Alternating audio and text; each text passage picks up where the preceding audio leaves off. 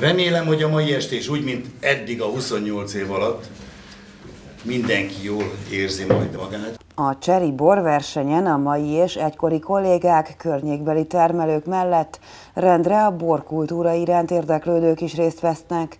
Az idei rendezvényen a 35 borminta közül 17 volt fehér, 13 vörös és 5 rozé. Főleg Bagoláról, Förhéncről és a homokomáromi hegyvidékről származnak elsősorban ezek a borok, amiket a kollégák, illetőleg az ismerősök idehoznak. Az iskola tanárai közül sokan borászkodnak. A versenyt eleinte szűk körben tartották, és ugyan a meghívottak résztvevők száma időközben bővült, de szinte kivétel nélkül mindenkinek van kapcsolata a Cserhátival. Még a zsűri elnöke is Cserhátis diák volt. Van egy történelmi hagyomány is ezen a vidéken. Én azt tudom mondani igazából, hogy egyetlen, ha egyetlen tanácsot kell mondanom, kóstolni.